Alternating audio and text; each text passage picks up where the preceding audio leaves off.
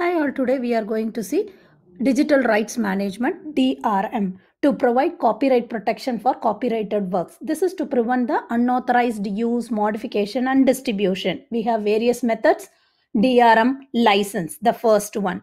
This no small file that includes terms of use along with a decryption key that unlocks access to the product. Example MS Office product. Persistent online authentication. Here the system periodically connects with the authentication and if the connection or authentication fails, DRM block the use of the product.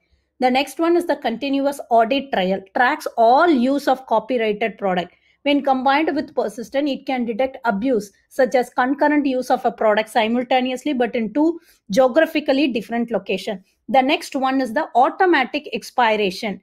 Many products are sold on a subscription basis. Example Netflix.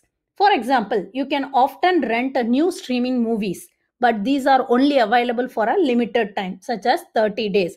When the subscription period ends, an automatic expiration function blocks any further access. Thank you for watching my video.